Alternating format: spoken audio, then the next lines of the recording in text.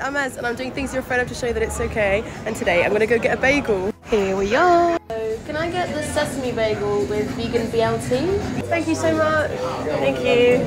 I've got my bagel and I'm gonna go find somewhere nice to eat it. So I found somewhere to sit and I got the vegan BLT and I wanna try it. So instead of bacon, they use seitan and it tastes really, really good. It doesn't taste like bacon though, but it's still nice. This is what my bagel looks like close up. So I got a bagel and I'm really enjoying it and everything was okay.